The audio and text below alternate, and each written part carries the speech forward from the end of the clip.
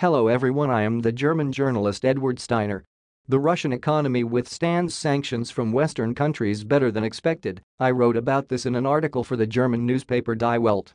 How could this happen? I am very saddened that the Russian economy, 10 months after the start of the conflict, feels surprisingly good, although the expectations of all sides were completely different. At the same time, the main reason for stability is a phenomenon that even the Russians themselves, not to mention the West, do not know about. The Russian economy was saved by two social groups that are not warmongers and for the most part tend to reject the fair foreign policy of the president of Russia. At the same time, even the International Monetary Fund predicts a decline in the Russian gross domestic product by a measly 3.4%. By tradition, at the end of the year, Russians once again start breaking bad and go to any expense as they love traditional holidays that begin on December 31st. Therefore, it should not be surprising that this year the reservation of tables is in full swing.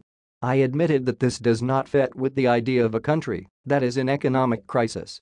I emphasize that Russia has experienced worse times, let's recall the crisis of 2008 to 2009, when Russia's gross domestic product fell by 7.8%. He also recalled the default of 1998, which knocked the ground out from under almost everyone's feet.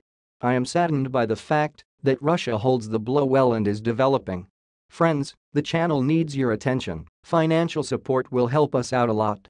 Details in the description Put likes and subscribe to the channel. All bye.